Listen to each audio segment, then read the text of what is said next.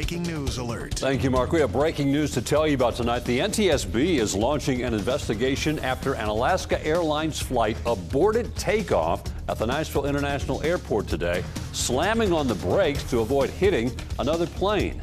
Good evening and welcome to News 2 at 5. I'm Bob Mueller. News 2's Alicia Wimberly is at the WKRN.com alert desk with the latest on this investigation. Alicia.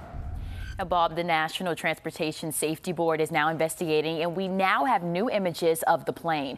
You're looking at newly released photos following the runway incursion. The Alaska Airlines flight ending up with a flat tire from stopping suddenly on the runway. The passengers were seen departing the aircraft while it was still on the tarmac. The Federal Aviation Administration did verify the Southwest flight was clear to cross the end of the same runway as that Alaska plane. Alaska Airlines says passengers are scheduled to arrive at their destination in Seattle later tonight.